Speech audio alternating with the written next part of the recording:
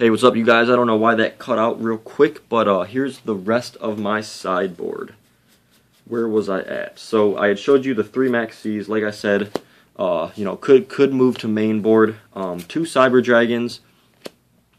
Really good card against the mirror match.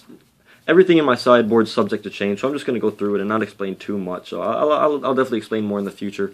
Two Mind Crushes. I think it's going to be a good card this format. Still not sure. Uh, same with Fairy Wind. Could be really good against Performapal Pendulum. I'm not too sure. Third MST. Pretty sure that's going to stay. Could even move three to the main. I don't really know yet. Um, Anti-spell frags. I'm going to have one. I don't know if I'm going to side two or three or eventually main deck them. We'll just have to see what happens. And then two of the new Horn card, the one that stops all their summons, lets them draw one, and then moves it on to the next phase. Thank you guys so much for watching my deck profile and this video. Make sure to give both of them a thumbs up, or if it's just in one video, I don't know how I'm going to do it yet. It was kind of a bummer that the first one stopped. But anyway, Dark Mofo out. You guys have a wonderful day, and I'll see you on the next video. Peace!